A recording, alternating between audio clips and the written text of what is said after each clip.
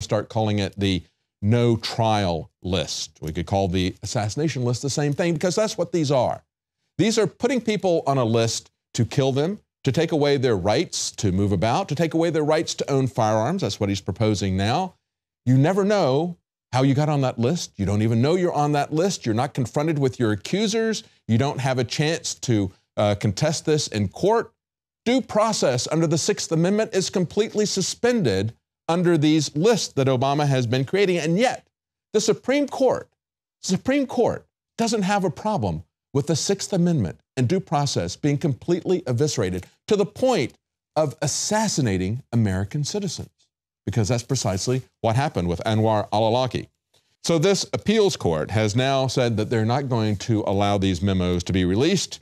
The ACLU says we strongly disagree that these crucial legal memos can lawfully be kept secret. In a democracy, there should be no room for secret law, and the courts should not play a role in perpetuating it. There should not be any room for secret trials, secret capital punishment either in a democracy.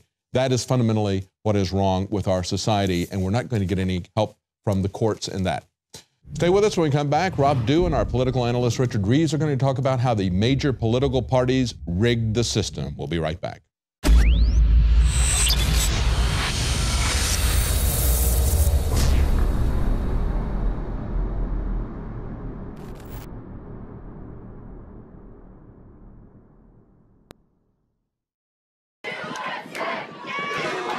This is an American president. Just add puppet, then vote and repeat every four years.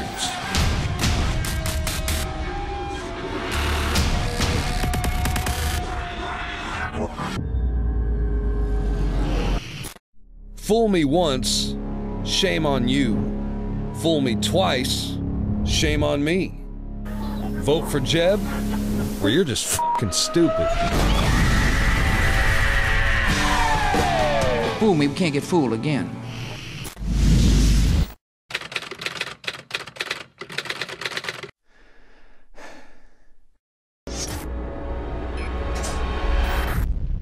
you guys have the exclusive for, which is a product called Deep Cleanse. And why I'm so excited about it is it's a unique formula, almost like the iodine crystals. We have two unique products that nobody in the world has. One of the most amazing ingredients in the world, and it's called shilajit, and it's actually known as blood of the mountain or rock sweat because thousands of years ago, as a matter of fact, this ingredient was only given to the elite of the elite. Thousands of years ago, up in the Himalayan mountains and in Tibet. And we wanted to put this in stuff for, for a couple years, but we couldn't get an organic form. Right. I mean, so I, let's explain. I mean, we, this stuff's so good, we couldn't put it out for years. Right. So I had to actually, it's kind of like the iodine crystals, finding a source deep in the earth that we could get the cleanest source available.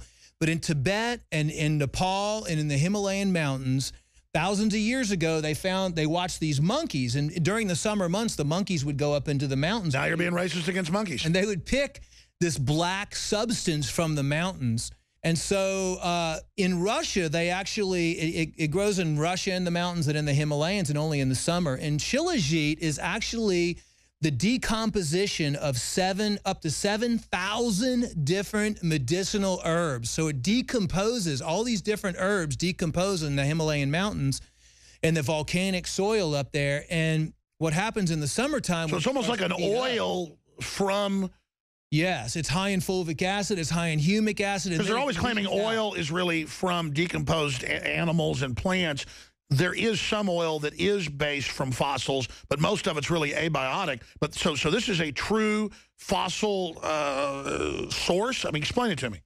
It is, uh, it's really the decomposition, like I said, of over 7,000 different medicinal herbs and plants. And it, and with the rocks and the pressure deep in the mountains, it freezes and and during the summertime and the pressures build it up, it oozes out. It oozes out. So it literally oozes out of the mountain. It's like rock sap. It's like rock sap. It's black and it's highly nutritious.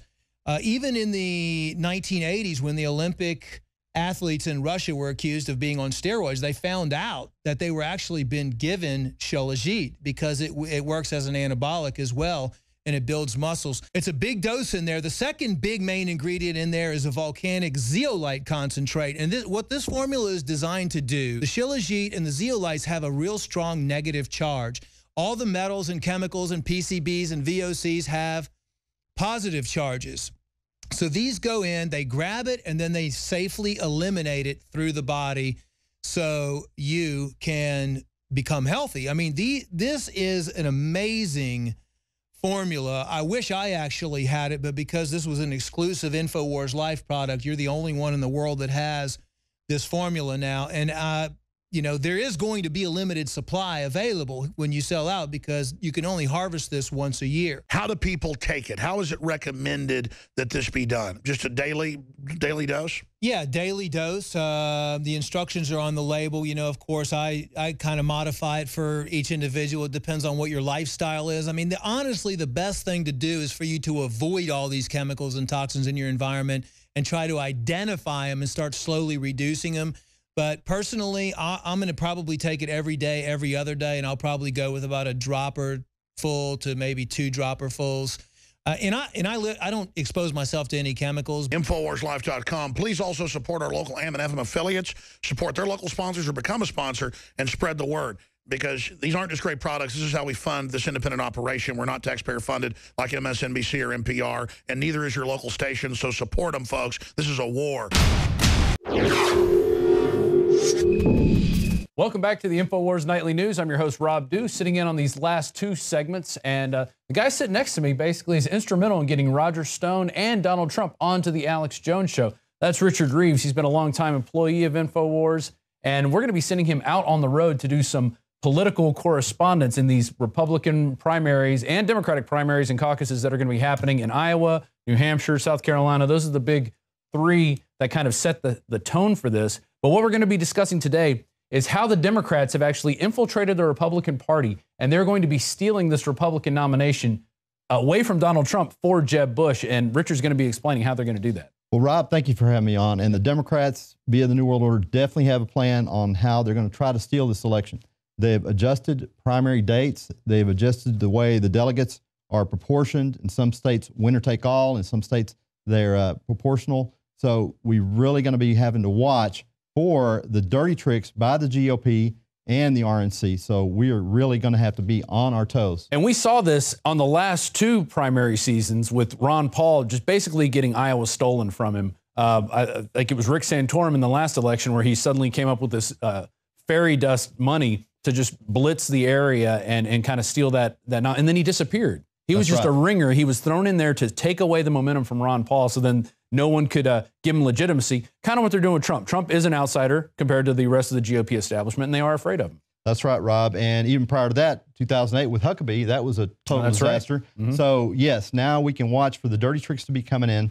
The uh, Republicans are dead set on making sure that Donald Trump does not get this nomination. And by that, I mean the Republican establishment, along with the Democrats that have infiltrated the party. Uh, it's going to be really tricky to do this. And what it was ultimately with this, what's called the splitter strategy, mm-hmm. is we had the Republicans gather up at some point in the past and they had a huddle and they decided, you know what, Jeb Bush is going to be our nominee for 2016. How do we get that done?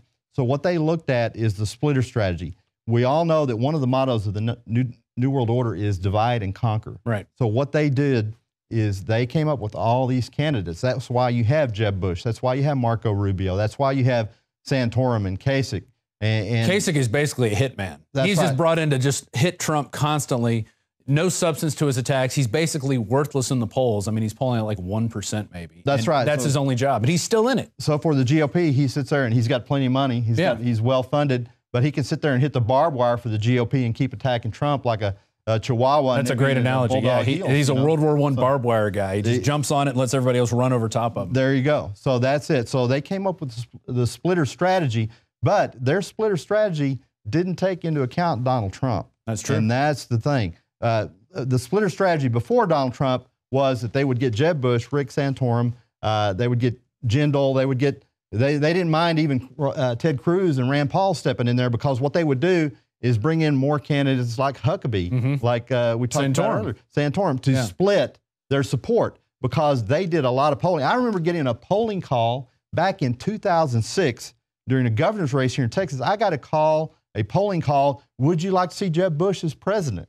That was back in 2006. That's nine years ago, folks. So that's how long the Jeb Bush being the nominee of the Republican Party in 2016 uh. has been in the works because I got that call and so did a friend of mine, and it was unbelievable. So what they've done is since 2012, 2013, 2014, the Republican Party with the Democrats and the NWO have conspired to set up the splitter strategy where every time uh, Ted Cruz gets in or Rand Paul gets in, Jeb Bush gets in, what they do is, all right, what other outside candidate that's with us with the GOP establishment, what other candidate can we bring in to help fracture and split those votes? Because they know, bottom line, the, all the support that Jeb Bush can generate is between 15 and 20 percent of the electorate. So they actually devised a way by manipulating the way the primaries fall, the, the way the primary dates fall, the way the delegates are proportioned, or winner take all, the way that works.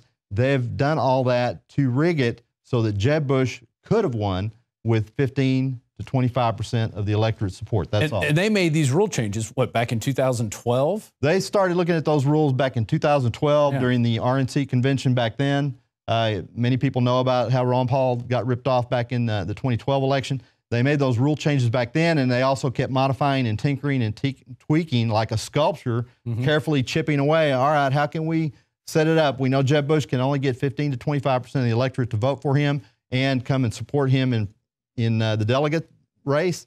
So we got to rig it to where he can still beat everybody by fracturing the vote. So that's what they've done, and that's like I said, that's before they figured and calculated how Donald Trump was going to step in. Wow. Yeah, it's amazing. And we saw this. I was a delegate, I think, in the 2012 election, and I went in, and I, there were several people who were, you know, pro Ron Paul people. You could tell, uh, you know, by the way they were, they didn't dress like the typical Republican. They were, they look like just, you know, normal people, not these this uppity type that you see in, in some of these RINO Republicans. But there were just enough RINOs in there to keep anything, any dissenting voice quiet and silent. And that's what they do. They they rig these with, with their own operatives. How do that's they right. do that? Well, it's pretty simple because what happens in generally what happens in the primaries, and I think it's going to be highly different this time, which is very exciting that we are probably going to see more people vote in the Republican primary than we've had in many, many years. So it's very exciting to see that what, what's happened in the past actually has been that only a small percentage of the electorate turns out for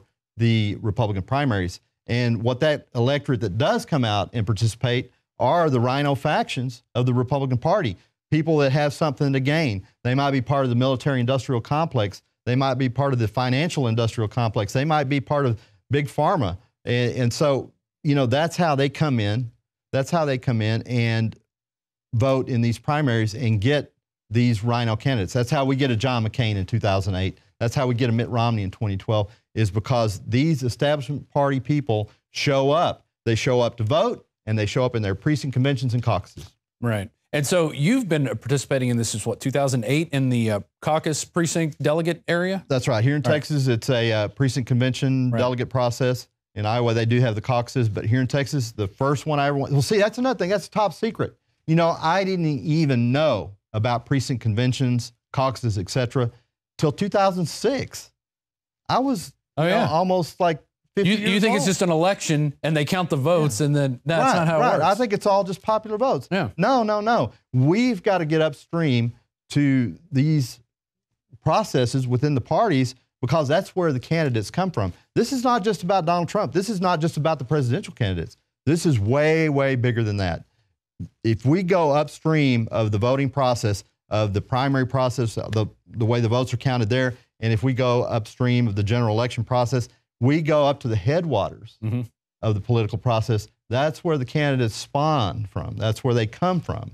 So what we need to do is be looking at that because that, ironically, it only takes a two or three percent minority of people to run that operation, and then all of a sudden, all these candidates, the headwaters where they spawn from, etc., then it dries up. That, it dries up, yeah. and a whole new slate of candidates. You know, people talk about black box voting and the fraud involved in that, which is absolutely true. We know about all that. We know that there's fraud at so many levels in our government. Happened in Florida when Jeb was governor. There you go, the mm-hmm. hanging Chad mm-hmm. election. Mm-hmm. So uh, it it just never ends how much fraud we find within the, the government and the New World Order and Democrat Republican Party.